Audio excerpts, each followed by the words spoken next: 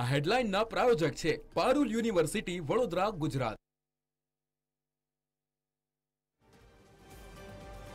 સુરતના હીરા ઉદ્યોગપતિ ગોવિંદ ધોળકિયા રાજ્યસભાના સાંસદ તરીકે લીધા શપથ, ઉપરાષ્ટ્રપતિએ લેવડાવ્યા શપથ.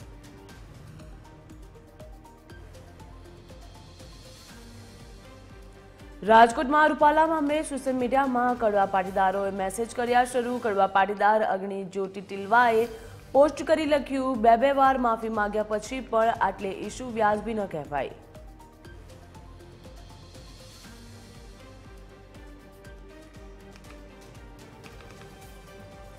ગુજરાત મહિલા મોરચાના પ્રમુખ તરીકે ગીતા પટેલની કરાઈ નિમણૂક જયની ઠક્કર લોકસભા ચૂંટણી લડતા હોવાથી કાર્યકારી પ્રમુખની કરાઈ નિમણૂક.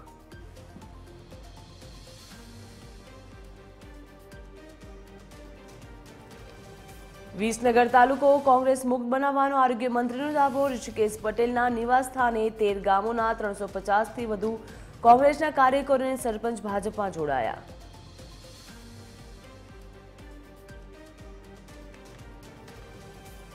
અમદાવાદમાં જાહેર રોડ ઉપર જોખમી રીતે વાહન ચલાવતા યુવાનો વીડિયો થયો વાયરલ. ચાલુ સ્કૂટરે પાછળ યુવક યુવતી જોખમી રીતે બેઠેલા જોવા મળ્યા.